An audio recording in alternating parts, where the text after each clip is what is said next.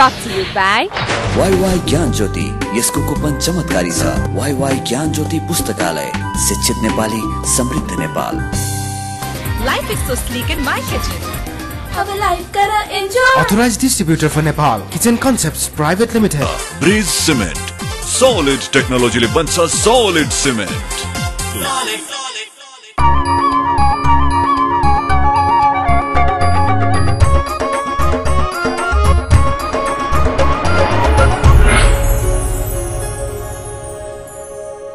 Himalaya television देख रहा सभी दर्शकों में मैं दयाराम अग्रवाल को प्यार भर्यो अभिवादन।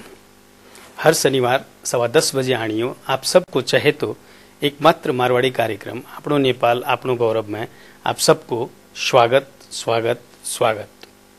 आओ कार्यक्रम में आगे बढ़ा आपकी पंक्तियाँ से। आपकी पंक्तियाँ। कल न हम होंगे न कोई गिला होगा सिर्फ़ सिमटी हुई यादों का सिलसिला होगा। जो लम्हे हैं, चलो हंस कर बिता लें।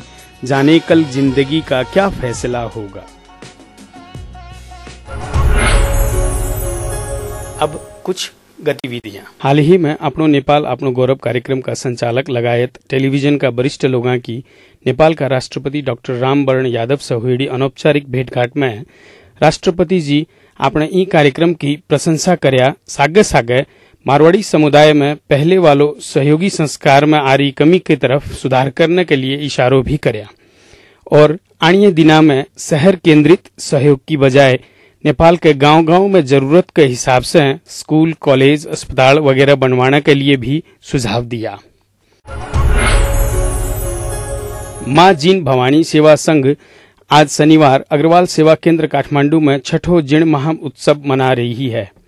सवेरे साढ़े ग्यारह बजे कलश यात्रा और ढाई बजे से मंगल पाठ, भजन, कीर्तन एवं भंडारा को कार्यक्रम है। आप सभी ने कार्यक्रम को आनंद लेने के लिए आमंत्रण करो गयो है। अब आज का अतिथि से बातचीत। आज आपने कहना एक अया का व्यक्तित्व है, जो नेपाल के इतिहास में एकमात्र प्रधानमंत्री होया, जो कि पाँच बार नेपाल का प्रधानमंत्री होया और एक दूसरो इतिहास ये रचा है कि एक पिता आपका बेटा ने पार्लियामेंट का सदस्य के रूप में शपथ करवाया।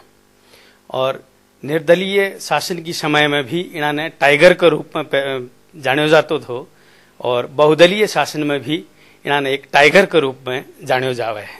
हाँ आप सभी समझ ही गया वह है पूर्व प्रधानमंत्री सूर्य बहादुर थापा और राष्ट्रीय प्रजातंत्र पार्टी का अध्यक्ष।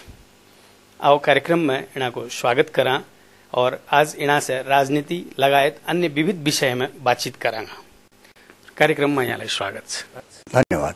के अब चाहिँ आशा गर्न सकिन्छ नेपालीहरूले छिटै नयाँ संविधान पाउनेछन् र राजनीतिक अस्थिरता समाप्त हुनेछ अब निश्चय नै अब सबै परिस्थिति हेर्दाखेरि र सबैको अ, वचनबद्धतामा हेर्दाखेरि चाहिँ नै एक वर्षभित्र संविधान बन्नेछ अनि आफ्नो परिवारका सदस्यहरूलाई उत्तराधिकारीका रूपमा अगाडि सार्ने चाहे यो छिमेकी देशमा हो चाहे नेपालमा होस् एउटा होड जस्तै चलेको छ अहिले। के यो ठिक भइरहेको छ राजनीतिमा? होड होइन हेर्नुहोस् यो त्यसलाई त्यो दृष्टिले हेर्नु हुँदैन।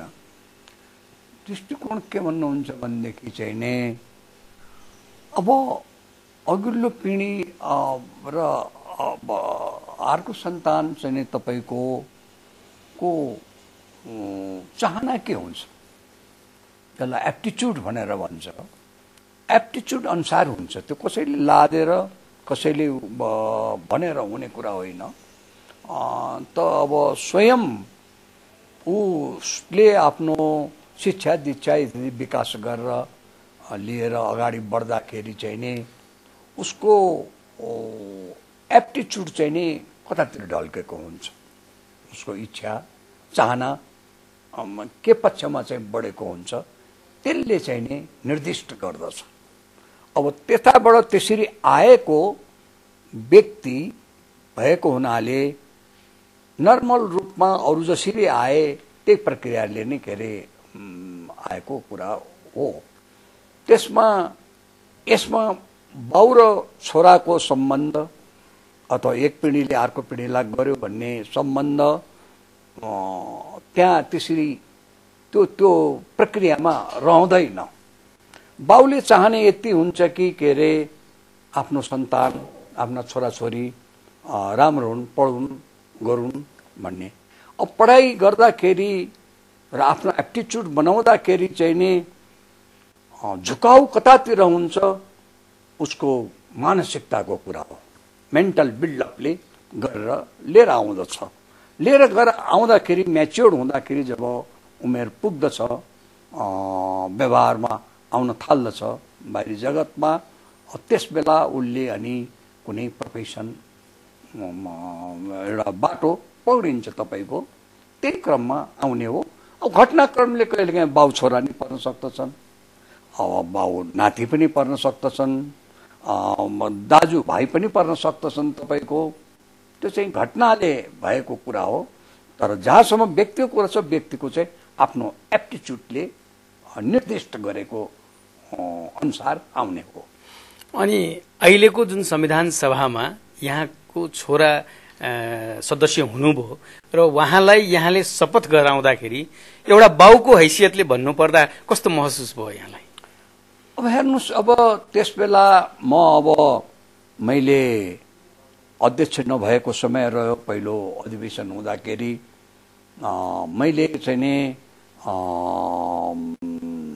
ज्येष्ठताको क्रममा मैले त्यहाँ चाहिँ नि के अरे प्रेसाइड गर्नु पर्यो अध्यक्षता गर्नु पर्यो। गर्दाखेरि मैले त्यहाँ जे गराइराखेको छु त्यस बेलाको मेरो मनोस्थिति अध्यक्षको रूपमा रहन्छ।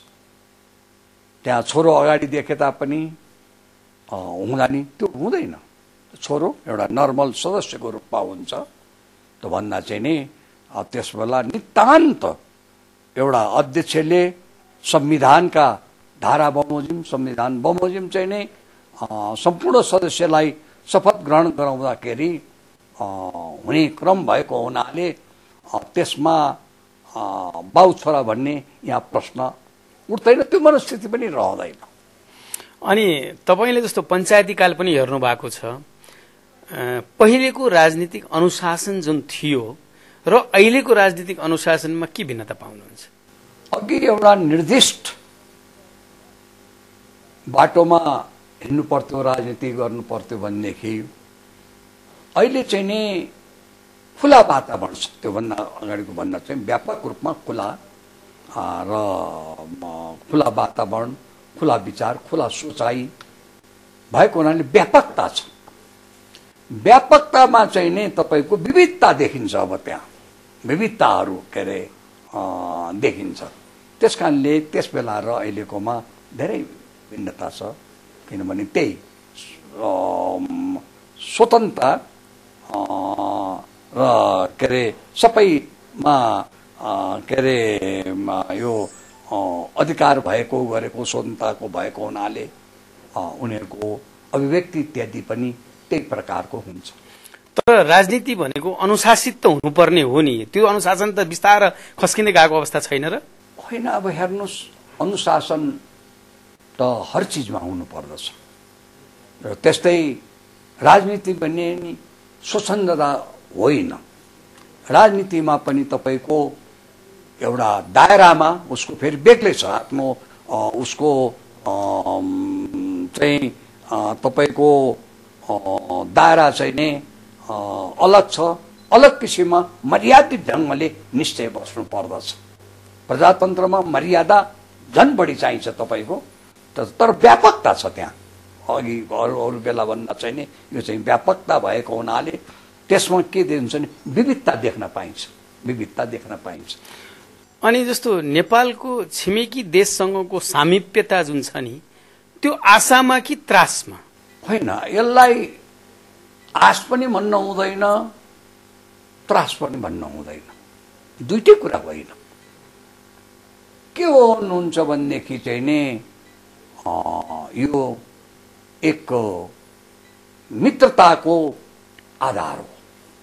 एउटा मित्रले अर्को मित्रसँग कसरी व्यवहार गर्दछ एउटा मित्र र अर्को मित्रको घरायसी सम्बन्ध कस्तो हुनुपर्दछ? एउटा मित्र र अर्को मित्रको व्यवहार समष्टिमा व्यवहार कस्तो हुनुपर्दछ? भन्ने कुरा चाहिँ यो के भन्नुहुन्छ भनेदेखि यो मित्रताले निर्दिष्ट गर्दछ। भनेपछि त्यसो भए यसलाई बाध्यता भनौँ कि रहर? त्यो पनि होइन दुइटै? होइन यो अब एक मित्रसँग अर्को मित्रताको सम्बन्ध हुने त्यो बाध्यकारी पनि हो। भनेपछि भारतसँगको जुन हाम्रो नेपालको सम्बन्ध छ त्यो चाहिँ के ठुलो दाजु र सानो भाइको सम्बन्ध भन्दा अति- अतिशयोक्ति हुन्छ कि? अब फिलिङमा विचार गर्दाखेरि तपाईँले एउटा ठुलो देश म, हामी सानो देश भएको हुनाले ठुलो सानो त्यो हातमा तुलना हुन्छ। गरिन्छ। तर जब राजनीतिमा व्यवहार गरिन्छ राजकाजमा जब व्यवहार गरिन्छ गरिँदाखेरि त्यो मान्यतालाई के अरे ख्याल गर्दै समानताकै आधार हुन्छ त्यहाँ। समानताकै आधार हुन्छ त्यहाँ। अनि अहिले फर्केर हेर्दाखेरि पञ्चायती कालमा नै फराकिलो सोच राखेर अगाडि बढेको भए यी सबै शक्तिहरू अटाउँथे र देशले द्रुत गति प्राप्त गर्थ्यो जस्तो लाग्दैन यहाँलाई? होइन हेर्नुहोस् मैले त भनेको हो त्यस बेला नि पञ्चायतमा हुँदाखेरि कि जब जब पञ्चायतले काम गर्दै गयो अगाडि गर्दै गयो समय परिस्थिति र जनतामा जसरी चेतना अभिवृद्धि भयो त्यही अनुसार राजनीतिमा नि सुधार हुँदै जानु पर्दथ्यो।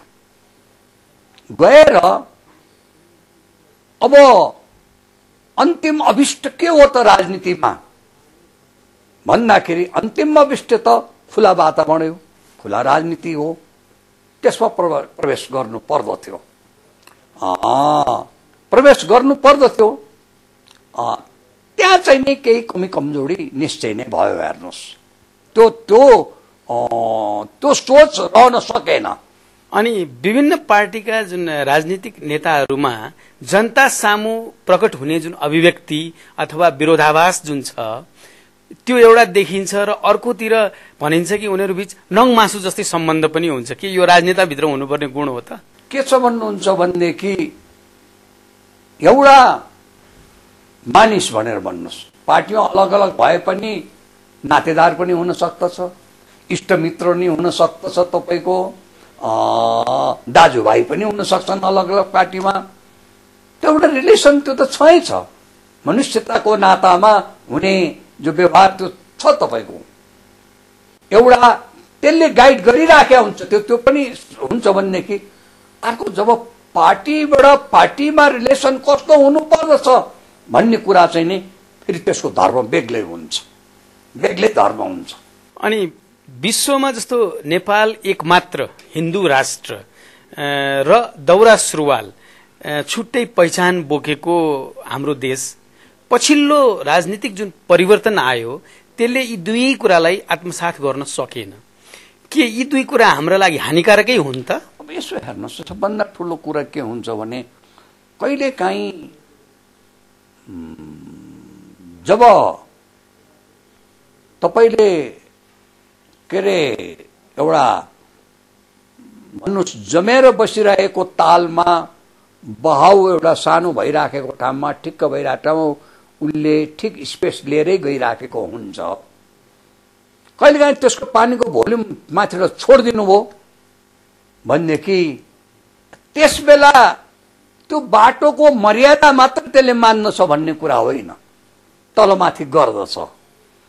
तर अलिकति बहाउ बढेपछि निश्चित रूप भएपछि चाहिँ नै फेरि त्यसले आफ्नै कोर्स पक्रिन्छ आफ्नै कोर्स पक्रेर गइरहेका हुन्छ। त्यस्तै हो राजनीतिहरूमा पनि। भनेपछि यसलाई चाहिँ फेरि आफ्नो बाटो लेला भन्ने अर्थमा बुझ्नु पर्यो एकचोटि अब आयो त्यस्तो आउँछ हेर्नुहोस्। आएपछि अब अहिले नै हेर्दाखेरि तपाईँको अघि र पाँच छ वर्ष सात आठ वर्ष अगाडि र आठ दस वर्ष अगाडि र अहिलेमा भिन्नता छ। हामी एउटा सानो ब्रेक लिन्छौँ फेरि अगाडि बढ्छौँ।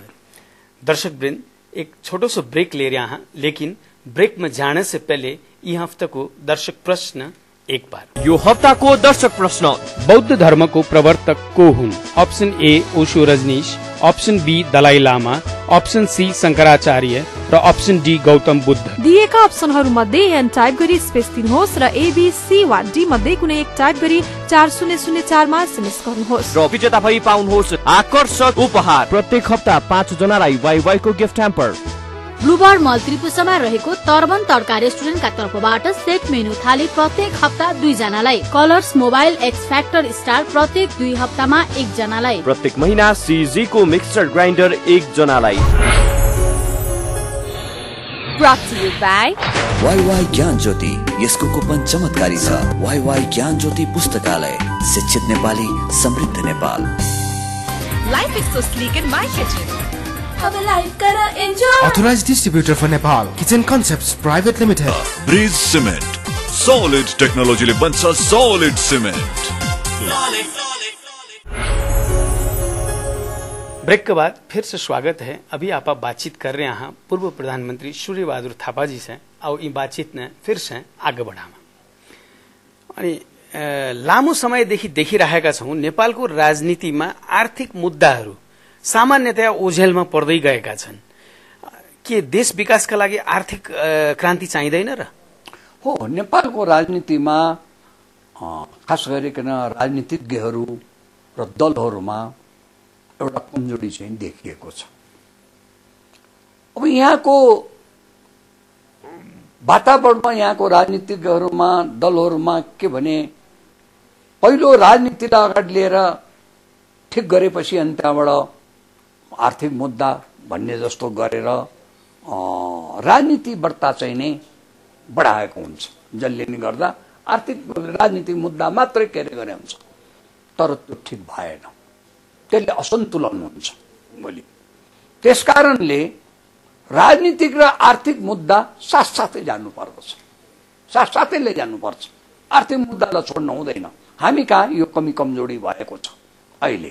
अनि पञ्चायती व्यवस्थाबाट बहुदलीयतिर प्रवेश गर्दाखेरि यहाँहरू जस्ता नेताहरूलाई निकै किसिमका अपशब्द पनि प्रयोग भए जस्तै भनौँ एउटा खाटी खाँटी पञ्चे भन्न पनि थालेका थिए।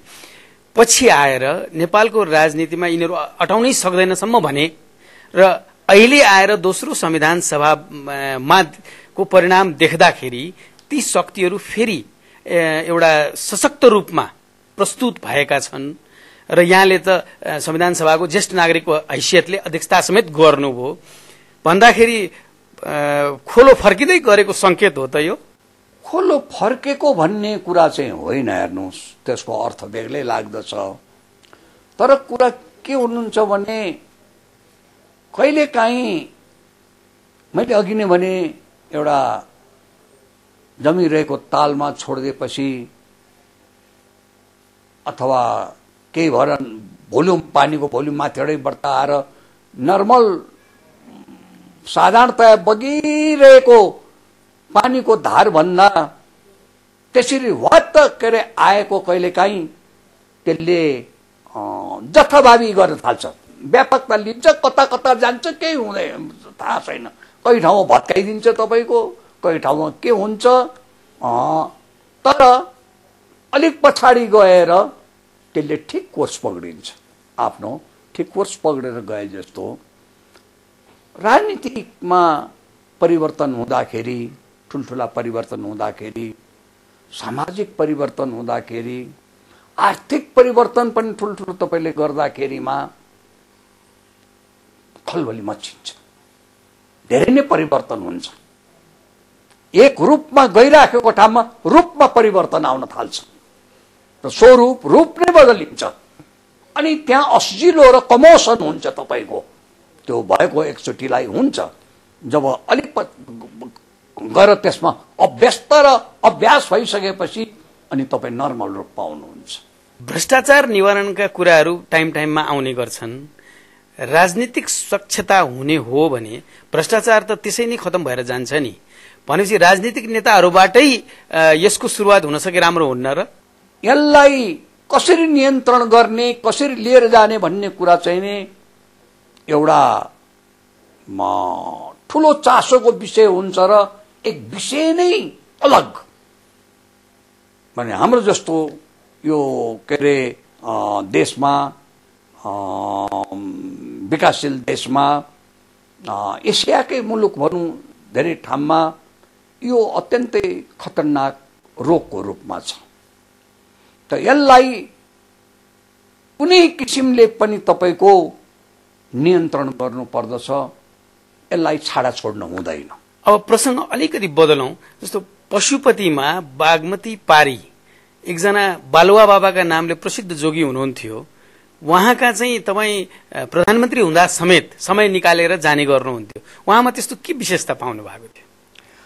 होइन एउटा योगी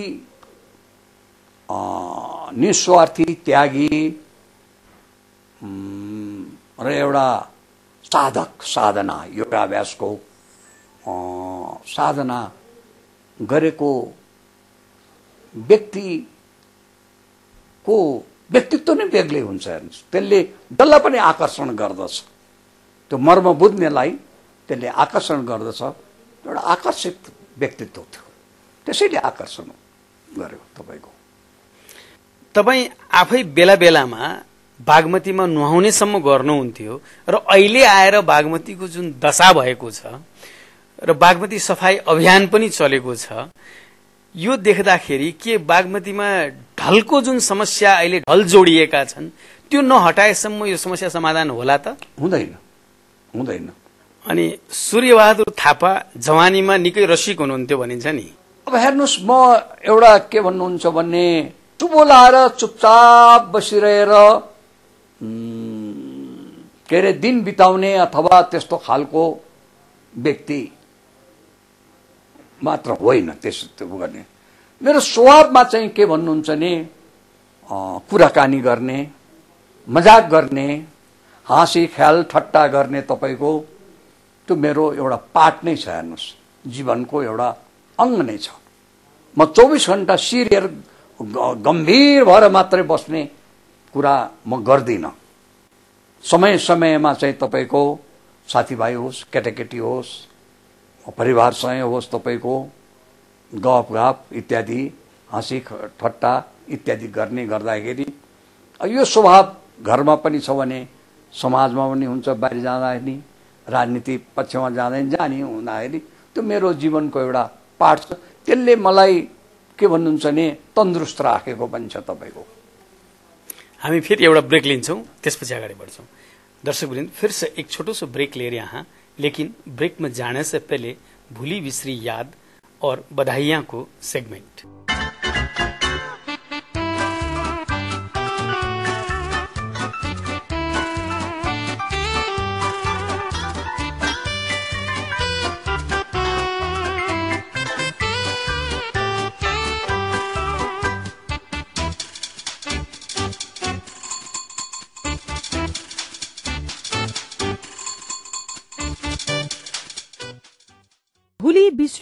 यादे। हामीहरूले सानैदेखि जब परिवर्तन आउँछ शरीरमा त्यसलाई बालक होस् बालिका होस् उसलाई हामीहरूले त्यो बारेमा जनचेतना जगाउनुपर्छ।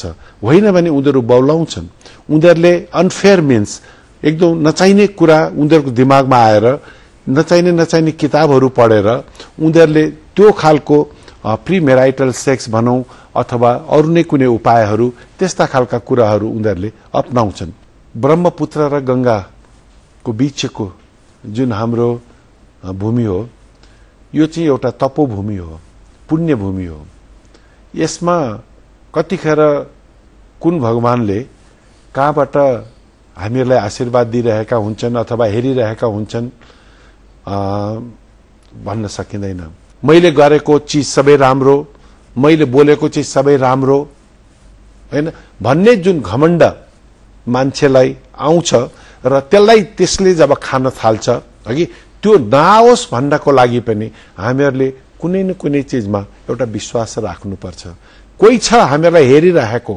यदि मैले गल्ती गरेँ भनेदेखि मलाई दण्ड दिने पनि कोही छ। जे काम पनि आफूले गर्नुपर्छ र गर्दाखेरि कोही मान्छे पनि सानो हुँदैन भन्ने जुन संस्कार छ त्यो अत्यन्तै र अर्कालाई सहयोग गर्ने। अब तपाईँहरूको परिवारमा जस्तो अथवा त्यो समाजमा जस्तो एउटा आध्यात्मिक चिन्तन अरू केमा छ र छँदै छैन? Brought to you by WaiWai ज्ञान ज्योति यसको कुपन चमत्कारी छ वाईवाई ज्ञान ज्योति पुस्तकालय शिक्षित नेपाली समृद्ध Nepal Life is so sleek in my kitchen. Authorized distributor for Nepal. Kitchen Concepts Private Limited. Bridge cement solid टेक्नोलॉजीले बन्छ सॉलिड सीमेंट ब्रेक के बाद आप सबको फिर से स्वागत है अभी आप बातचीत कर रहे हैं पूर्व प्रधानमंत्री सूर्य बहादुर थापा जी से और इन बातचीत ने फिर से आगे बढ़ावा। तपाईँ मारवाडी समुदायलाई नजिकबाट चिन्नुहुन्छ यो समुदायलाई कसरी मूल्याङ्कन गर्नुहुन्छ हेर्नुहोस् यो समुदाय यस्तो समुदाय हो जो आदिकालदेखि यहाँ बसेको छ। यहाँ उपत्यकामा भयो काठमाडौँ भयो र अन्य सहरहरूमा नि नेपालका अन्य सहरहरूमा नि आदिकालदेखि बसिया छ। भर्खरै आएको भन्ने कुरा मात्रै होइन अब आएका छन् उनीहरू मानिसको जीवनसँग अरू नेपालीको जीवनसँग गाँसिएको छ भिजेको छ उनीहरूको। र उनीहरू अर्को कुरा चाहिँ के भन्नुहुन्छ भने व्यापार कसरी गर्ने उद्योग धन्दा कसरी गर्ने इत्यादि गर्नेमा नेपालीलाई त्यस बेला नेपाली समाजमा त्यस बेलाको के अरे पूर्वकालमा त्यो सिकाउने र तपाईँको त्यो ज्ञान दिनेमा मारवाडी समाज नै हो हेर्नुहोस् नेपालीहरूलाई दिने। नेपालीहरूको सीमित जस्तो पहाडमा थियो इत्यादि लगानी लगाउने इत्यादि त्यसो मात्रै गर्थे भनेदेखि बन्द व्यापार गर्ने उद्योग गर्ने भन्ने कुरा जब देखे उनीहरूबाट सिके नेपालीहरूले भन्दा उनीहरू यो मानेमा गुरु पनि मान्नु पर्दछ हेर्ने यिनीहरूलाई। गुरुको काम पनि यिनीहरूले गरेको छ। र नेपालमा उद्योग धन्दाको जग हाल्ने व्यापारको जग हाल्ने पहिलो समुदाय यही नै हो। अनि हालै आएर एक नेपाली मारवाडीले विश्वमा आफूलाई अरबपतिको सूचीमा राख्न सफल भए यस उपलब्धिलाई कुन दृष्टिकोणमा हेर्नुहुन्छ? यसलाई हेर्नुहोस् हामीले गर्व मान्नुपर्छ। ऊ एउटा माडवाडी समाजमा नेपाली नागरिक हो। एक नेपाली नागरिक माडवाडी मूलको एउटा व्यक्तिले यत्रो पौरख गरेर यो पौरख नै भन्नुपर्छ। पौरख गरेर त विश्वमा त्यति चर्चित हुनु र नाम कमाउनु नेपालको लागि बडा राम्रो कुरा हो हेर्नुहोस् नेपालकै इज्जतको कुरा हो। त्यस कारणले यसमा सबैले खुसी प्रकट गर्नुपर्दछ। अनि मारवाडी समुदायका कमी कमजोरी चाहिँ कस्तो देख्नुहुन्छ? कमी कमजोरी भन्ने कुरालाई चाहिँ नै मैले हेर्नेमा माडवाडीहरूको दुईटा इतिहासका प्रक्रियामा नेपालको सन्दर्भमा दुई एउटा आदिकालदेखि नै आएर बसेको बन्द व्यापार गरेका। उनीहरू ट्रेडिसनल बन्द व्यापार उद्योग इत्यादि गर्ने र खास गरिकन व्यापार गल्लाका व्यापार इत्यादि गरेर सुरु गरेको अगाडिको त्यो पछि बर्मामा जब मुभमेन्ट भयो हिन्दुस्तानबाट बर्मामा गएर बसेको त्यो बल्क नेपालभित्र प्रवेश गर्यो हेर्नुहोस्। त्यहाँबाट नि माडवारी समाज आज दोस्रो पटक आएको चाहिँ माडवारी समाजको त्यो आयो। अब त्यो चाहिँ नि बर्मामा खुला ठाउँमा उसले ठुलो उद्योग धन्दा बन्द व्यापार ठुलै स्केलमा अन्तर्राष्ट्रिय के अरे उसमै के अरे गरेको गर्दाखेरि त्यहाँ आएर प्रवेश गरेपछि उसले यहाँ सुरु गर्यो त्यो त्यो वर्गले। त्यो पुराना माडवारी मिसियो त्यो। निश्चिँदाखेरि पुराना माडवारी अब पुरानो स्थितिमा मात्रै बसेर उनीहरूको अस्तित्व कायम रहने स्थिति भएन अब। के अरे आर्थिक अस्तित्वमा चुनौती आयो। चुनौती आएपछि उनीहरू नि जम गरे। नेपाली माडवा माडवारी समाज चाहिँ यस्तो हो तपाईँको कि परिवर्तित समयलाई असाध्य चिनेर आफू पनि परिवर्तित हुने। नभए किन बन्द व्यापार इत्यादि त पछाडि पर्दछ। परिवर्तित स्थितिमा जाने कुरामा गर्ने हो। त्यस कारणले उनीहरूले नि परिस्थितिमा जम्प गरे। जम्प गरेर उनीहरूले यहाँका पुराना जो ट्रेडिसनल बसिरहेका माडवारी वर्ग थियो उनीहरू उनीहरूको कम्पिटिसनमा अब गएर उद्योग व्यापार त्यही टाइपको व्यापार त्यही टाइपको उद्योग इत्यादि गरेर कम्पिटिसनमा आएर बराबरमा आयो तपाईँको। भनेपछि कम कमी कहाँ रह्यो त? यो त राम्रै कुरा भयो नि। होइन कमी रहेन। कमी रहेन। उनीहरूले पिकअप गरे। पिकअप गरे त्यो कम्पिटिसनमा आएर पिकअप गरे अनि मारवाडी समुदायलाई अब आगामी दिनमा कसरी बढ्ने सल्लाह दिनुहुन्छ? आगामी दिनमा हेर्नुहोस् अब उनीहरूलाई बन्द व्यापार उद्योग धन्दा गर्ने आफ्नो व्यवसाय गर्नेमा हामीले सल्लाह दिइरहनै पर्दैन। हामीहरूभन्दा उनीहरूबाट जानकारी राख्दछन्। उनीहरू नै अहिले विश्वको कम्पिटिसनमा कसरी प्रतिस्पर्धा गर्ने भन्ने कुरामा उनीहरू नै लागि परेका छन् हेर्नुहोस्। हामीलाई बरु ज्ञान छैन। अब रह्यो कुरा के भन्नुहुन्छ भने माडवारी समाज जो बसिया छन् उनीहरूले एउटा नेपालमा बसेर अब हीन भावना चाहिँ राख्न हुँदैन। इन्फेरिटी कम्प्लेक्स राख्न हुँदैन।